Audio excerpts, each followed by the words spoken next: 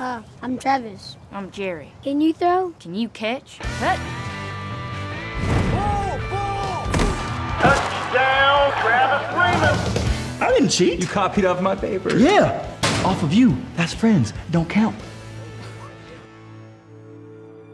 Whoa.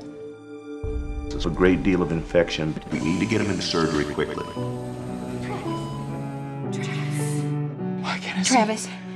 You're blind, son. I don't know why things like this happen to good people. Hey, Trev.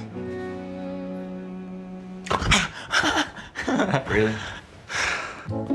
Check out the nurses. Look left, smile sexy. Hmm. Hmm? I still got it. It's been almost three months and he's barely left his room.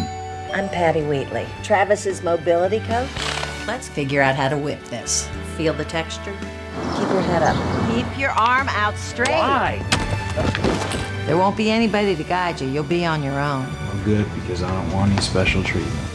My man. Oh, there's gonna be some changes. Travis, how you doing? Hey, coach. Yeah, You got a funny look in your eye. Travis, I never coached a boy loves football as much as you. I'm thinking you should come back on the team. They can't catch the ball. So you're gonna have to play center. You're not a gazelle anymore. You're a pit bull. It's Gonna be a long season. Mind tell me where you're taking me? Jerry! Oh my gosh, clean out your drive. This thing is nasty. Ashley, I ain't gonna have you looking like crap out there. Feel your balance through your cleats. Not bad. Not bad. Relax. Cut. Is that moving? Oh my gosh, that's moving. Oh. He can't really play, right? Hut. Alright.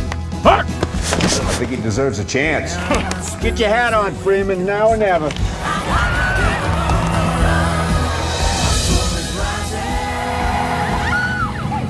Oh, hey there, Mr. Duncan. I almost didn't see you.